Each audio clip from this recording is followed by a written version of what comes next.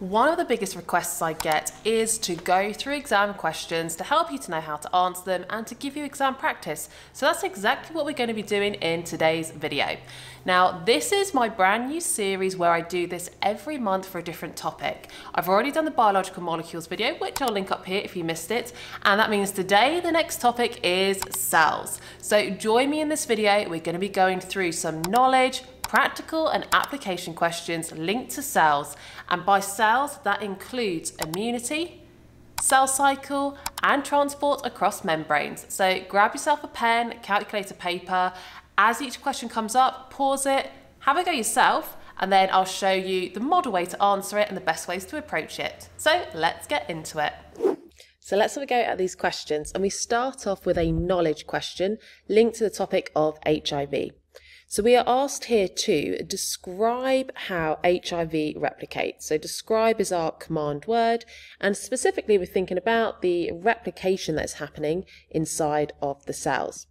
So the sorts of things that I'd be including then in this answer would be first of all, we need to state that RNA is converted into DNA and that is done using the enzyme reverse transcriptase. So you need to be talking about that enzyme for one of the marks, definitely.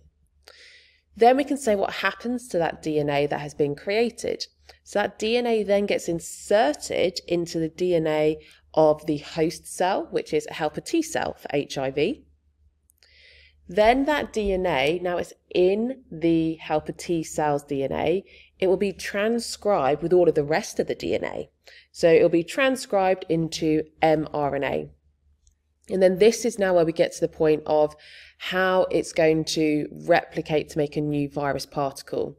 So that HIV mRNA is then translated into the proteins that HIV requires to make its new particle. And that's what mark number four is.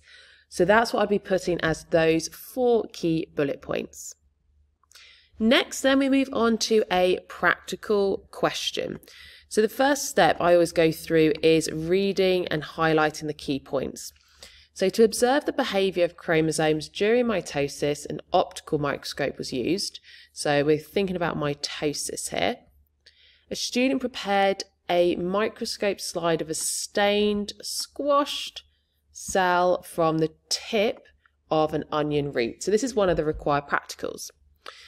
To create the slide, she cut the first five millimeters from the tip of an onion root and placed it on a glass slide. Then added a stain and acid to the root tip, put a cover slip on top, warmed the glass slide, and then pressed down firmly on the cover slip. So those would be the key things that stand out to me from the method that might come up as something that we have to justify or explain. And the bits in the first paragraph I was highlighting because that indicates to me what the topic's going to be about, and then I can start to think of keywords that link to that topic. So then if we move to the next bit of the question, explain why the student used the first five millimeters from the onion root tip, pressed down on the cover slip firmly, and added acid to the root as well. Now that set of questions comes up basically every time you get an exam question on the mitosis root tip practical. So that's why I've included this one, because for this practical, you're guaranteed to be asked one of those three questions, if not all of them. So here is what you would say for that answer. The reason that we would use the first five millimeters is right at the tip that is the place where mitosis occurs. And we just said we want to look at the behavior of chromosomes during mitosis, so we need to be observing where mitosis occurs. Then we have to say, why do they press down firmly on the cover slip? So this is why it's called a stained squash. You're squashing your sample. And the reason you have to squash it is so you get a single layer of cells that alone won't get you the mark though. So it's a single layer of cells and that enables the light to pass through the specimen. So you have to have both of those ideas for that one mark. Lastly, this one doesn't get asked as often, but it has come up a few times recently. Why did they warm it with acid as well? And what the acid does is it breaks down some of the links between the cells, and that means it is then possible to squash and separate the cells to get a single layer. So that's what they're after there. It breaks down the links between the cells so you can then get that single layer. Right, next question is an application question. It's still within the cells topic, but it's linking to transport across membranes.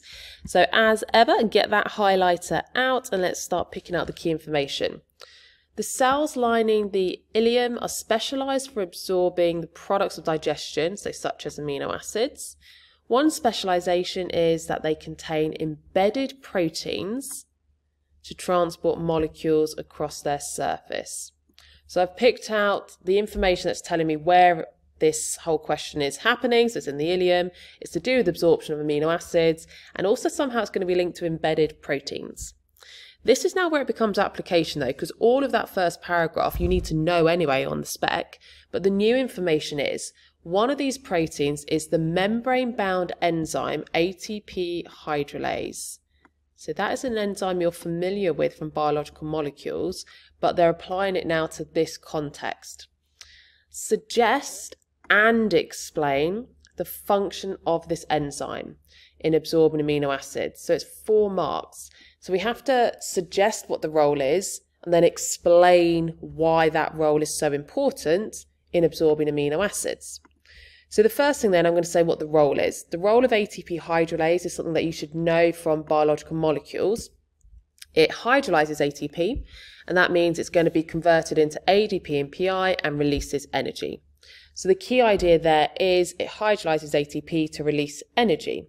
So that's the first bit of the question, suggest what it is, what the enzyme's doing. Now we need to explain why that energy is so important in absorbing amino acids. So that energy is used to actively transport the sodium ions from the epithelial cell into the blood. Third mark is then saying why we actively transport the sodium ions out of the cell and into the blood.